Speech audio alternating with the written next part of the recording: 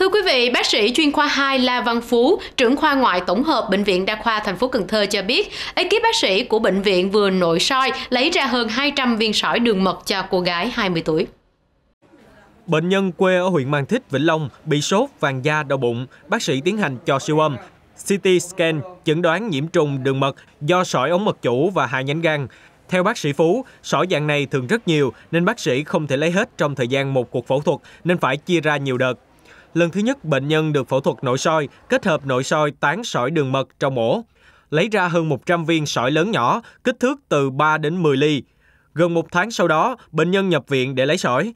Sau hơn 2 giờ nội soi tán sỏi đường mật điện thủy lực, kết hợp lấy sỏi bằng rọ lấy sỏi, các bác sĩ đã lấy được trên 100 viên sỏi nằm ở đường mật trong gan bệnh nhân. Theo bác sĩ Phú, dự kiến sẽ lấy thêm một đợt tiếp theo nữa mới hết sỏi. Hiện bệnh nhân đã giảm đau bụng, có thể ăn uống và sinh hoạt bình thường. Khoảng 16 giờ 30 phút ngày 21 tháng 11, tuyến đường sắt Bắc Nam, đoạn có đèo Hải Vân bị sạt lở nghiêm trọng đã được thông tuyến.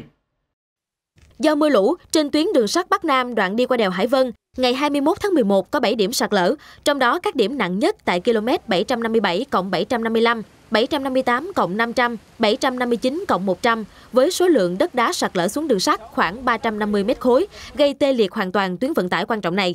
Có 6 chuyến tàu SE 1, 2, 9, 10, 21, 22 với gần 1.000 hành khách bị mắc kẹt tại ga Lăng Cô. Trước tình hình đó, ngành đường sắt đã huy động hàng trăm cán bộ công nhân cùng phương tiện nhanh chóng giải tỏa, thông tuyến đường bộ quốc lộ 1A và chuyến tàu SE3 với gần 300 hành khách bị mắc kẹt do lỡ đá.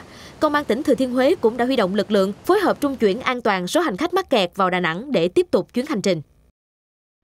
Mưa lớn kéo dài tại huyện vùng trũng Hải Lăng, tỉnh Quảng Trị trong những ngày qua đã khiến cho hàng chục hồ nuôi tôm sắp đến ngày thu hoạch bị ảnh hưởng, trong đó có hai hồ bị vỡ khiến cho người dân tại đây mất trắng hàng tỷ đồng. Tại xã Hải An, 3 ngày mưa to, lượng nước đổ về lớn và chảy xiết đã làm 50 hồ tôm bị ảnh hưởng, trong đó có hai hồ bị vỡ, toàn bộ số tôm nuôi trong hai hồ bị trôi theo nước lũ. Theo các chủ hồ tôm, tôm nuôi trong hồ đã sắp đến ngày thu hoạch, này mất trắng. Ước tính thiệt hại mỗi hộ trên 1 tỷ đồng. Những hộ khác bị ảnh hưởng ước tính thiệt hại cũng đến vài trăm triệu đồng. Nghề vật châu chấu đã có ở thành phố Hồ Chí Minh nhiều năm. Ngoài các huyện vùng ven thành phố, người làm nghề này còn phải đi tìm đồng cỏ ở Long An, Tây Ninh, Bình Dương Tuy phải thức đêm nhiều, nhưng đổi lại, người làm nghề có thu nhập khá. Hàng ngày khoảng 16 giờ, những người làm nghề vật châu chấu ở xã Xuân Thế Thượng, huyện Hóc Môn, thành phố Hồ Chí Minh bắt đầu công việc mưu sinh của mình. Bộ đồ nghề gồm một cây vợt có đường kính miệng rộng 1 mét, một thùng đựng buộc trên xe máy, một chiếc đèn pin đội đầu. Tại cánh đồng, người bắt châu chấu cầm vợt liên tục vượt qua lại trên lớp cỏ để bắt. Khi châu chấu trong vợt đã nặng thì trút vào thùng đựng. Đến 22 giờ đêm trở về nhà chia châu chấu vào các túi nhỏ, sau đó đi giao cho chủ vựa. Công việc kết thúc lúc 2 giờ hoặc 3 giờ sáng ngày hôm sau. Những năm gần đây, người chơi chim ngày càng nhiều, nhu cầu cào cào châu chấu cho chim ăn ngày càng cao và người làm nghề này cũng đông dần.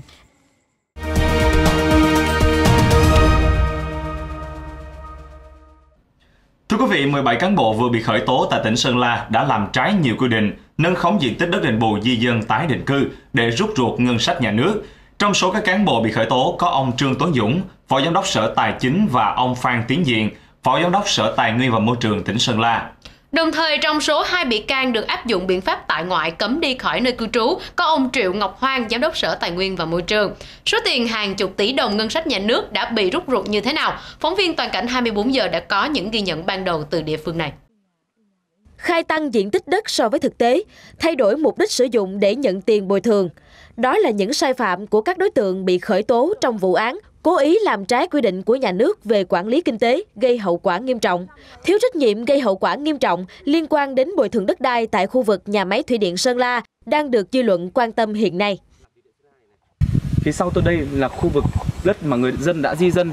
Trên thực tế, đây là đất ngập nước. Tuy nhiên, các đối tượng đã lợi dụng và vẫn có thể đo đạc, lập bản đồ, lập khống hồ sơ, tăng diện tích và rút ruột ngân sách nhà nước Ngày 20 tháng 11, Cơ quan An ninh điều tra Công an tỉnh Sơn La đã thực hiện lệnh bắt tạm giam, khám xét nơi ở của bị can Đèo Văn Bang, 61 tuổi, nguyên cán bộ Ủy ban Nhân dân huyện Mường La, bí thư chi bộ bản Co Chai, xã Mường Chùm, để điều tra về tội cố ý làm trái quy định của nhà nước, gây hậu quả nghiêm trọng.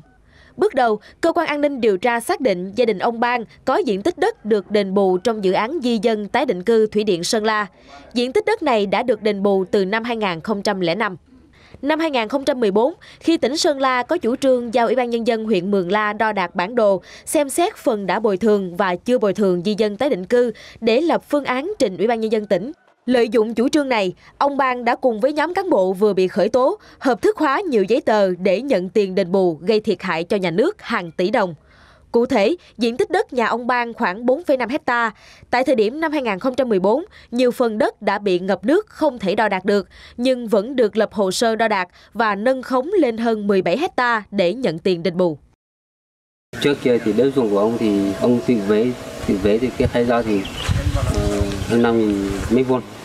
Nhưng mà sau năm sau ờ, 2000, 2016 thì khai 2016 thì ông lại ngồi đây thì ông kê khai đất của ông thì tam mười ba nghìn thì tôi không biết là đất của ông thế nào thì tôi không biết nhưng mà uh, tại sao đất, đất của ông lại tam như thế thì tôi, tôi nghĩ thì nó nó không đúng cũng với thủ đoạn trên, các bị can đã lập khống, làm tăng diện tích đất lên nhiều lần để rút ruột tiền ngân sách nhà nước. Đến nay, cơ quan điều tra đã xác định có hơn 60 quyết định phê duyệt phương án thu hồi đất chi tiết, 46 quyết định phê duyệt phương án bồi thường, hỗ trợ do Ủy ban Nhân dân huyện Mường La ban hành sai quy định. Theo tìm hiểu của chúng tôi, năm 2003, Thủy điện Sơn La được Trung ương quyết định giải phóng mặt bằng, tổ chức di dân tái định cư. Năm 2005, tỉnh Sơn La đã thực hiện xong đền bù, di dân cho hơn 20.000 hộ dân ra khỏi vùng ngập với tổng diện tích hơn 2.000 hecta đất. Năm 2014, Ủy ban Nhân dân tỉnh Sơn La có công văn số 617 về nội dung cho phép đo đạc bản đồ, xem xét phần đã bồi thường và chưa bồi thường di dân tái định cư, để lập phương án trình Ủy ban Nhân dân tỉnh xem xét ra quyết định giải quyết vấn đề này.